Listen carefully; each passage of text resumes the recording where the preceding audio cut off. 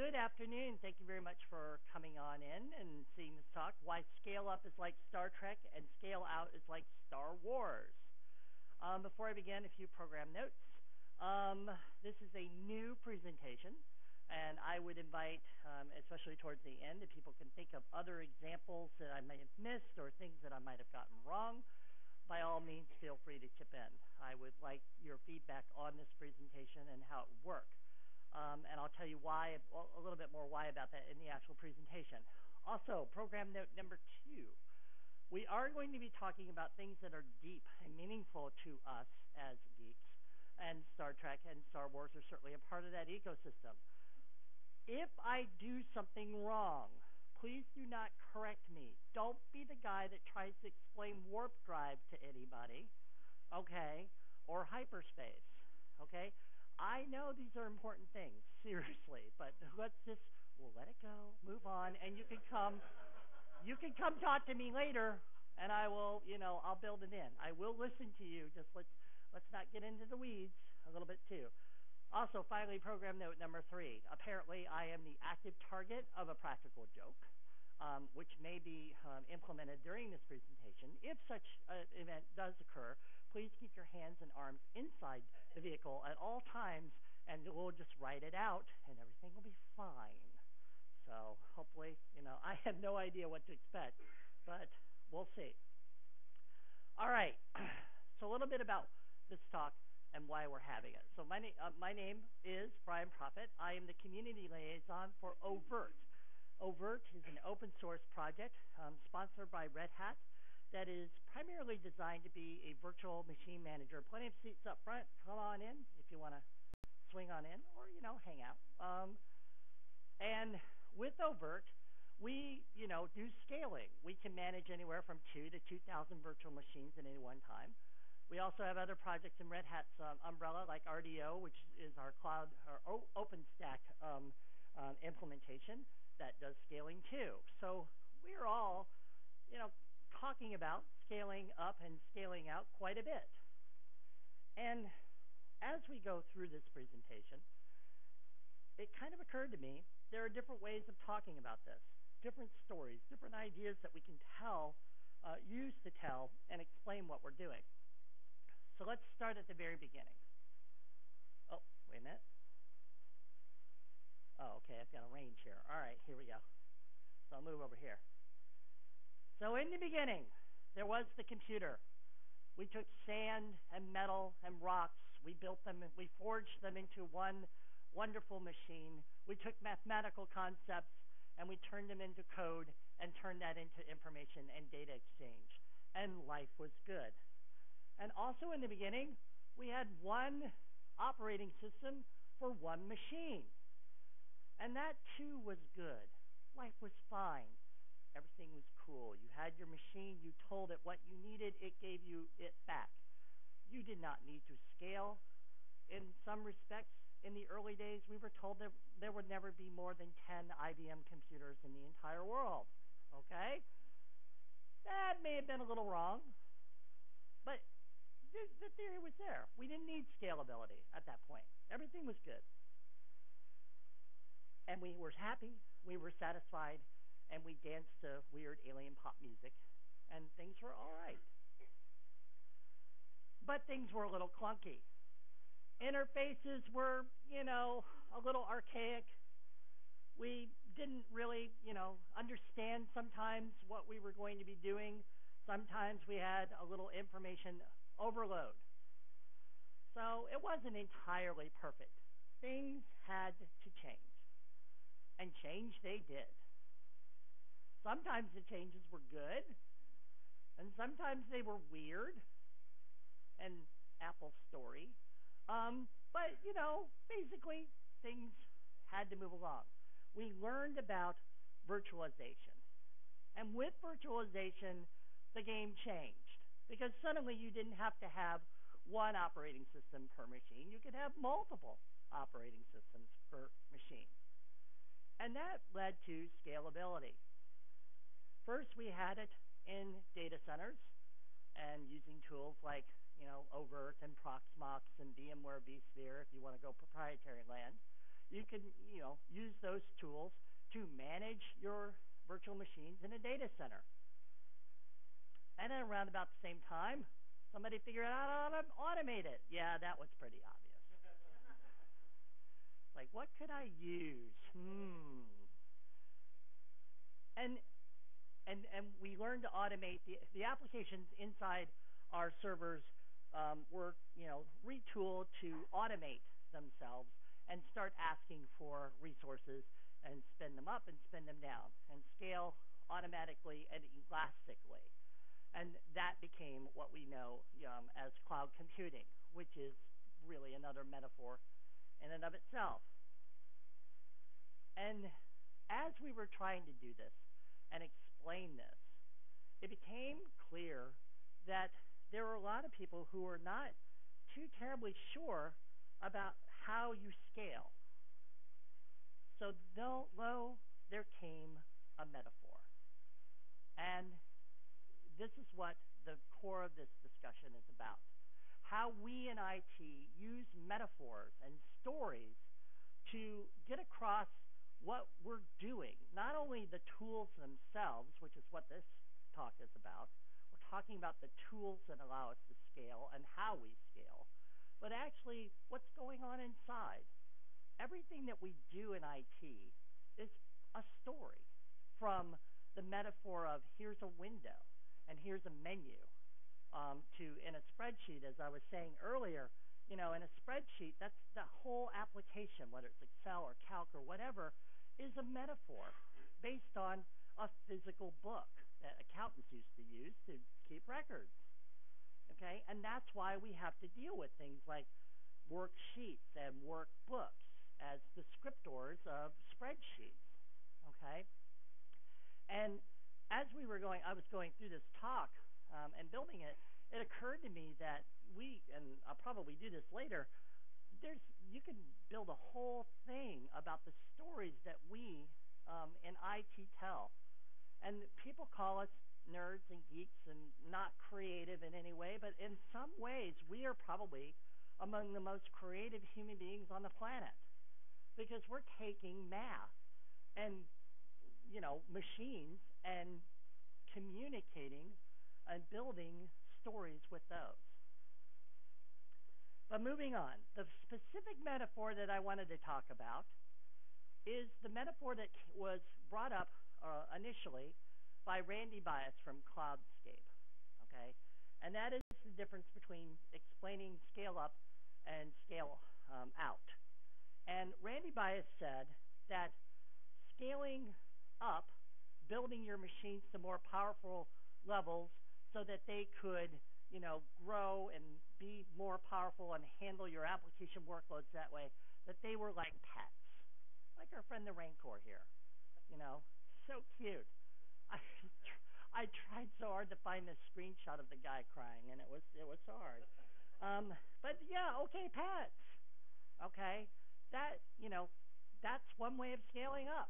We build more powerful machines, not as many, but you know they're big and beefy and powerful, and you know sometimes they eat things like they too much, but you know it, it all worked out pretty well. So that's scaling up.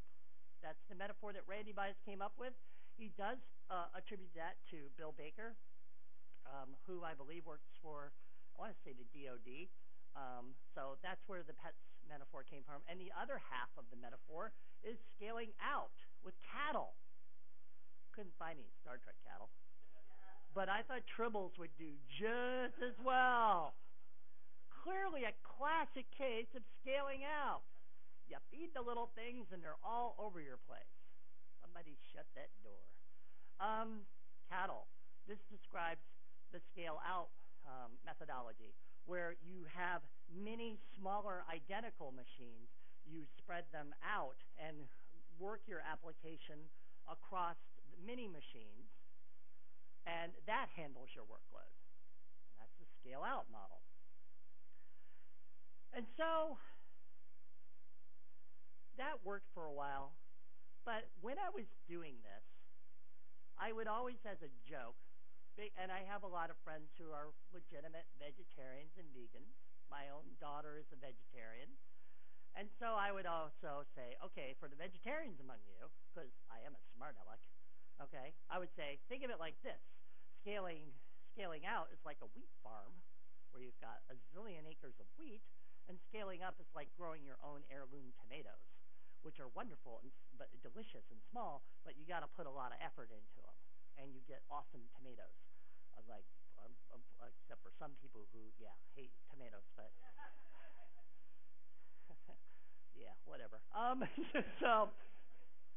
So yeah, I would do that because you know I'm trying to be Mr. Sensitive. I'm trying to say, okay, you know, let's let's take care of the vegetarians in the crowd because when we talk about cattle, we're talking about you know food, and that can get a little awkward. So, but yeah, so but then I thought, okay, what do we know? What do we as geeks know about such things? What do we know of pets and cattle? You know, I know about cattle because my father-in-law is a farmer, but you know that doesn't always equate, and you know not all of us are gardeners or anything like that.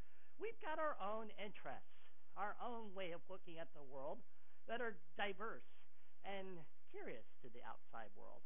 But they still sort of, you know, they're really valid ways of thinking about the world around us.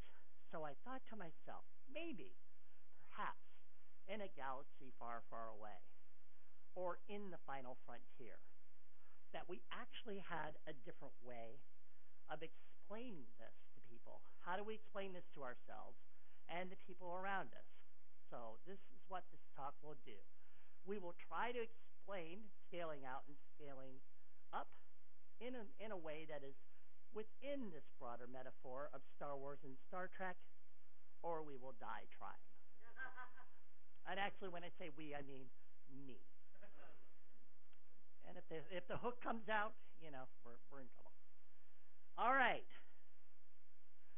So the first way I thought about this is, and this is pretty much the easier way to do this. I was thinking about the way each one of these fictional, and I did say fictional, just so we're clear, um, universes deals with things like their ships.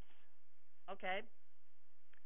Now, in Star Trek, and especially in the original series, which is, you know, pretty much where it all began and should be the canon. But then J.J. Abrams came along and ruined it. Um, but I'm not bitter, not at all. Oh. Um, there weren't a lot of ships. Okay, I know this diagram doesn't do a really good job, but of, of saying that because you know you've got all these little different classifications and things like that and whatever. But um, but um, you um, don't have a lot of ships. In the original Star Trek series, the Enterprise was one of 12 Constitution class starships. Okay, and that was pretty much it. And there were other ships implied in Starfleet and whatnot, so it wasn't just 12. But clearly, there weren't a lot, you know, flying around at warp nine or whatever the engines couldn't handle that particular week. And the ships in Star Trek are interesting because they are truly multi-purpose machines.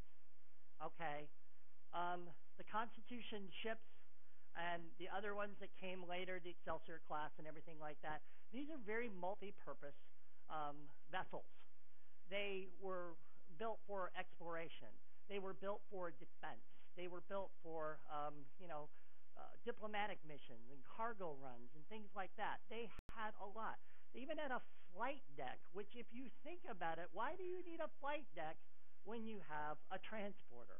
But oh well, plot device. Um, so, yeah, I get a little grumpy about that. So, okay. But they're multi purpose. They are really, truly a classic example of scaling up. You have a few very flexible platforms that are powerful enough to do the jobs that you need to do. Also, a particular uh, a peculiarity about Star Trek ships was the investment put into the crews. Crews were designed to be very, you know, strong, unified bodies to do their jobs. Their, uh, you know, cooperation was encouraged. Skill sets were um, very much enhanced and taken advantage of. Um, Next Generation was interesting to me because if you think about this, really think about this, these were basically superheroes running around. I mean, because really, you had the brainy android with the superpower of thinking really fast. You had the empath with her superpower who could apparently read minds um, 50,000 miles away at some points. So, okay. Um, and there's super strong Klingon. I mean, you had, you know, your own Justice League sitting in the Enterprise. Um, so there's mixed metaphors there for sure. But the thing about that was there was a lot of investment they spent a lot of time and effort building on each other's strengths, playing off each other's strengths, and working from there. Well, almost. Um, there was some exception. yeah. So, but for the most part, you know, when Kirk, when somebody was about, you know, died, you know, he was really upset. You know, there's a lot of investment in the crew. He wanted to take care of everybody on the ship, and you know was genuinely upset when things went wrong. Um, this meme notwithstanding. Um, so there you go. From the ship aspect, this is why Star Trek is a really good way of explaining scale up methodology.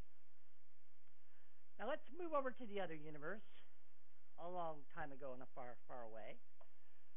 Star Wars ships never really, you know, know exactly how many ships are running around. We didn't spend a lot of time on detail, but clearly there is a bazillion of them, which is a technical number. So let's be all clear about that. Okay, from TIE fighters to Imperial Star Destroyers to whatever the heck that giant thing uh, Darth Vader was driving around. Okay, there were a lot of these things. And they were practically on the Empire side basically chase and run anything down that it possibly could and kill it. Okay? With the TIE fighters as well. There, were, uh, there didn't seem to be any Imperial Science Division running around.